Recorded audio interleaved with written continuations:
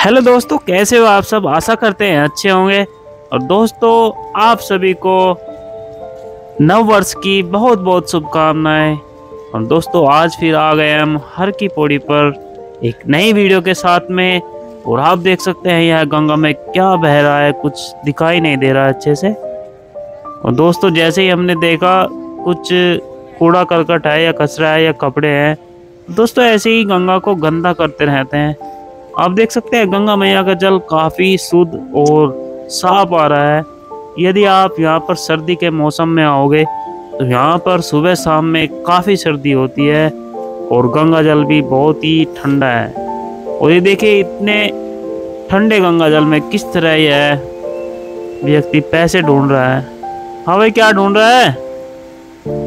और देखो दोस्तों, इनकी भी एक ट्रिक है, पैसे ढूँढने की। और किस तरीके से यह पैसे ढूंढ रहा है? और गरीब लोग हैं बेचारे, सौ दो सौ रुपये मिल जाते हैं ऐसे इनको। और यहाँ से खूबसूरत दृश्य देख सकते हैं आप, गंगा मैया का। और अभी शाम के साढ़े पाँच बजे हैं, सूर्य देव डूब रहे हैं। और जैसे ही हमारी नज़र पड़ी इधर गंगा में, कोई कपड़े फेंक देता है, कोई पूजा का सामान फेंक देता है। तो दोस्तों, इस तरीके से गंगा को गंदा नहीं करना चाहिए। हमारी गंगा, स्वच्छ गंगा, निर्मल गंगा मैया है।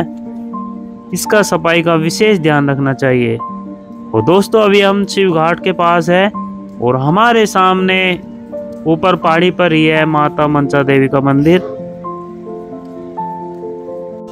तो ठीक है दोस्तों, वीडियो अच्छी लगे तो लाइक कर देना।